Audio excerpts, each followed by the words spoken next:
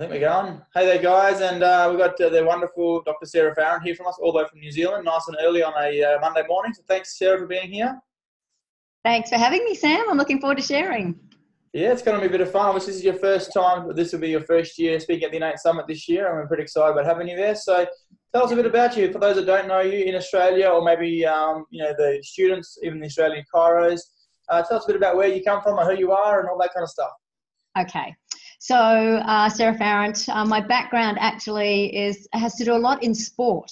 So, uh, I've got a phys ed degree and um, a postgraduate in psychology, degree in general science, and then chiropractic as well. I'm married to an American who was just happened to be born in America to Australian parents. We've lived in Australia We've lived in the US and now we live here on this beautiful island called Waiheke Island in New Zealand, which is awesome. Wow. And we studied in, and we studied in, uh, we, we got our physical, uh, our um, chiropractic degree from Palmer College of Chiropractic in Iowa. In you said you're married to an American, but he's got Australian parents. So therefore, has he got an yeah. Aussie accent or American accent or New Zealand accent?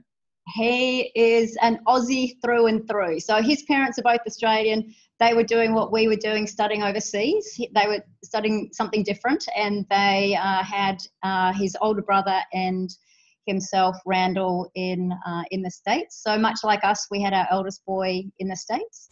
Mm-hmm. So all of our kids have American citizenship as well. So nice. they're kind of where a global family, I guess, in terms of living in different places, which has provided us with lots of different opportunities, which has been awesome. And please tell me his name's something like Bruce or Robbo or something. What's his name? Randall. Randall. Randall.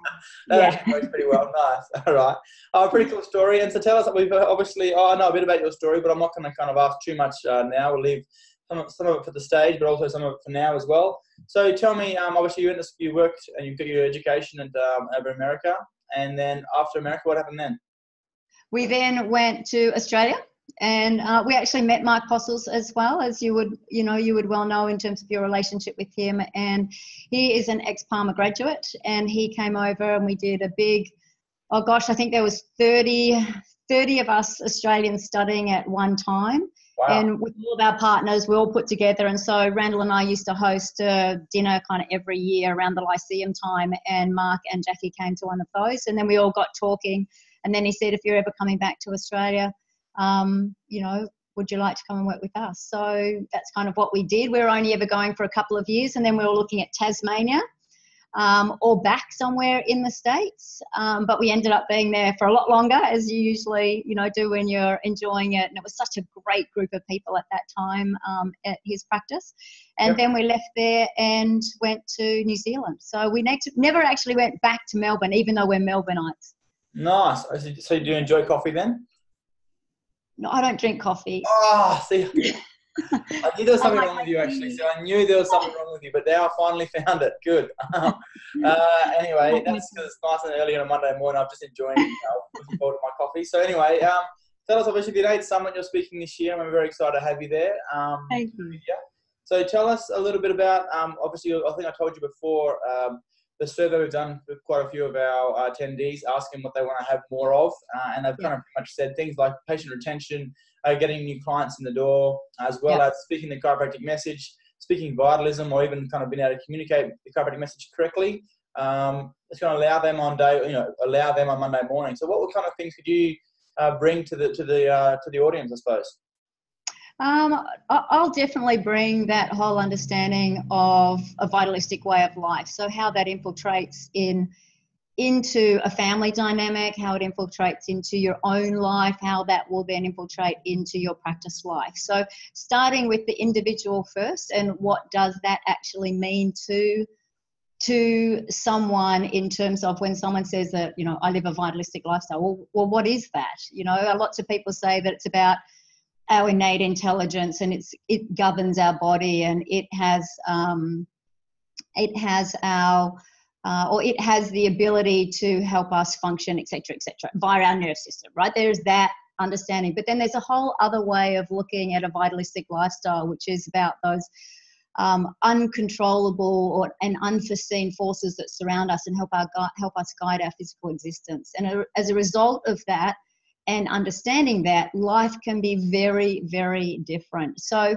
for years, Sam, there was always two ways to look at health. There was the allopathic approach to health, and then there was the um, alternative approach to health. So back in 2010, so about 10 years ago, I started writing down in bullet point form what all the differences were for an allopathic approach, an alternative approach.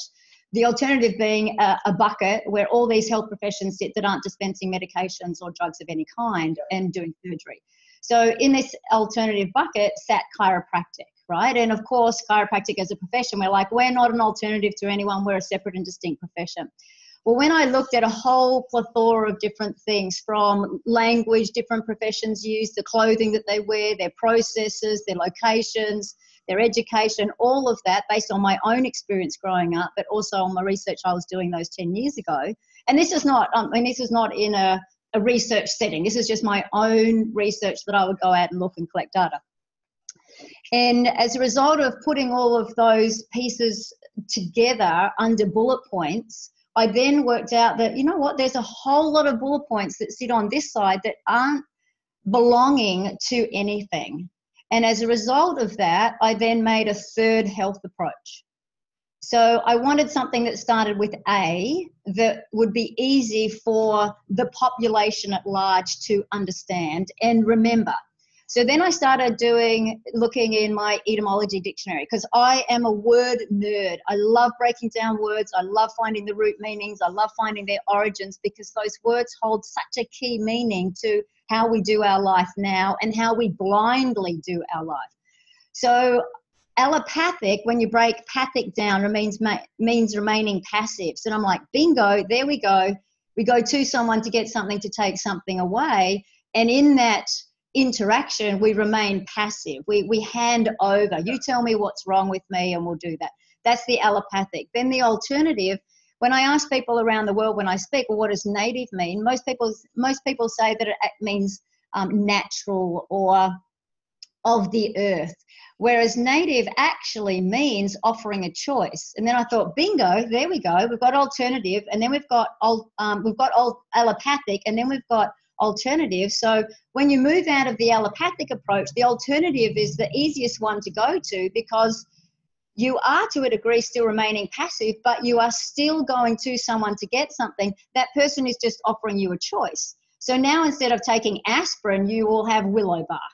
Yeah. Same thing, different understanding. And so then I wanted to find a third name, and the third name was alternate. So I went scouring through the dictionary and I found the word alternate. And then obviously when we look up Nate, what does Nate mean? Nate means inborn. So all of a sudden we had this triangle with health in the middle that people could, become like what I call a health slider to understand how to enter into the health arena. Suddenly we had people that were empowered with the understanding of what health is, and then they could enter it from whichever angle that they wanted to enter it. Enter it provided they, un- they understood what each one actually meant.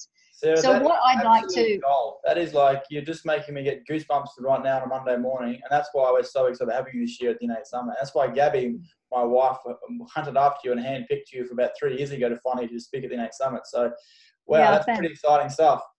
Sorry, yeah, I was just kind of getting goosebumps. So.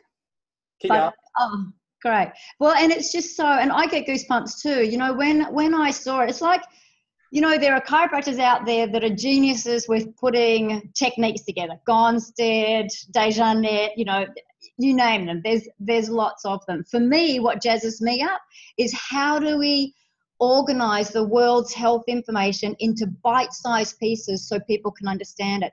And when you break it down and you organize it in a systemized, like a neurological way, like a nerve system way, then it becomes irrefutable you know, vaccinations, when you lay over vaccinations on top of this process that I've designed, it becomes irrefutable. It's like, oh, now I understand why you wouldn't do that.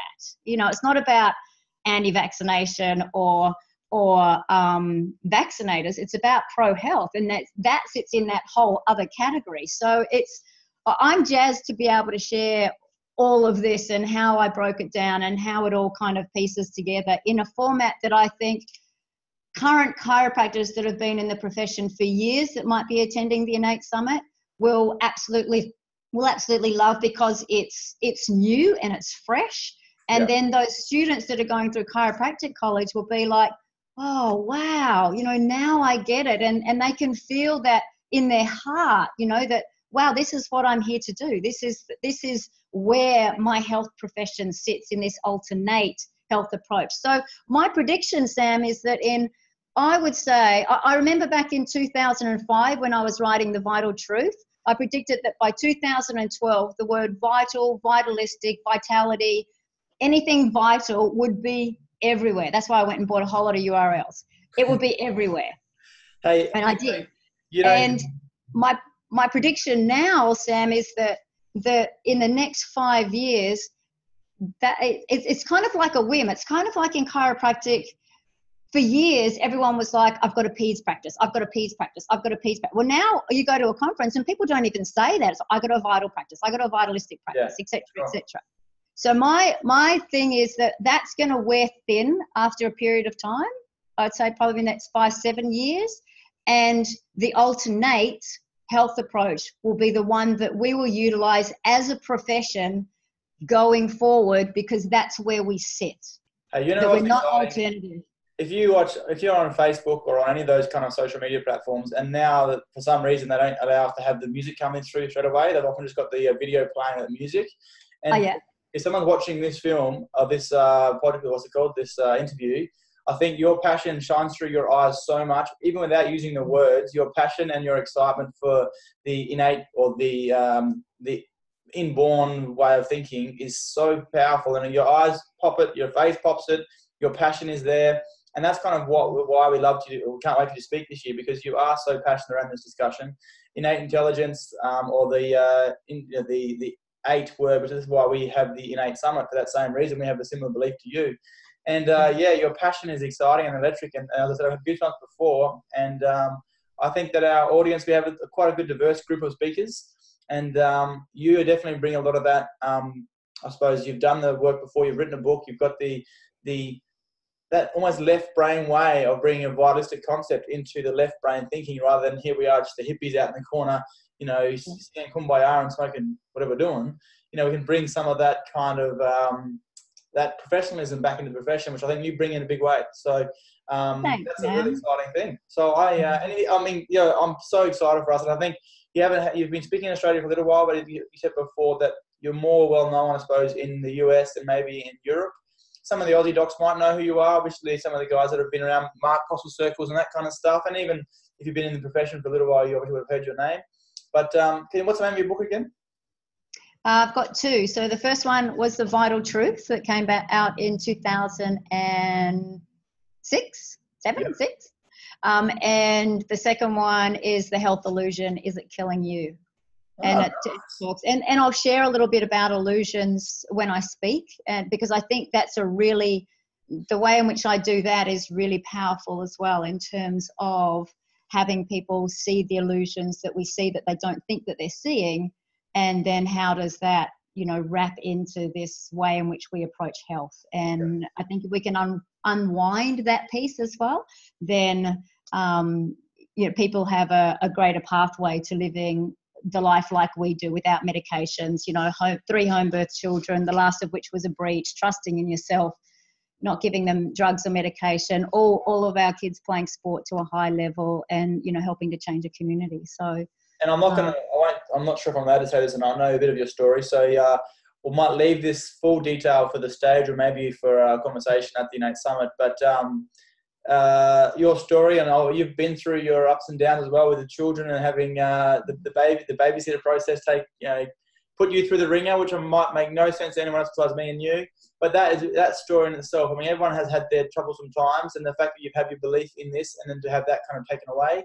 I won't go into it now. We might leave that for in the, in the future. But you do definitely stand extremely strong in this space, and uh, obviously you're very passionate around it.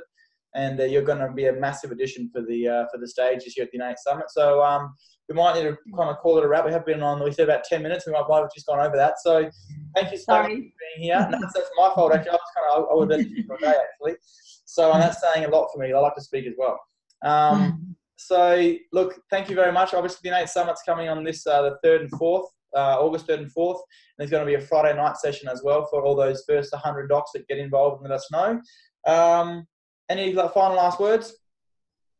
I I am so blessed to be able to speak at the Innate Summit. I, I can't thank you enough to be able to have the opportunity to um, help, you know, 400, 500, however many people are in the audience, you know, have a different understanding of what we do as chiropractors and therefore be able to change first and foremost themselves and then step forward to change their community. So I'm blessed. So thank you. Well, thank you very much for saying yes. I mean, finally, I think we asked you about two years ago, and you're always busy, and your agenda was always pretty pretty full. So, after two years, we finally managed to lock you down and, and lock in some dates. So, we're very excited about having you here, even for this Skype call. It took me took us a good three or four months to get that.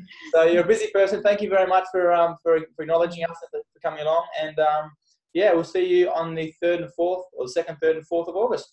See you awesome. guys. Thank you, Sam. No worries. Bye. See you soon. Bye. Bye.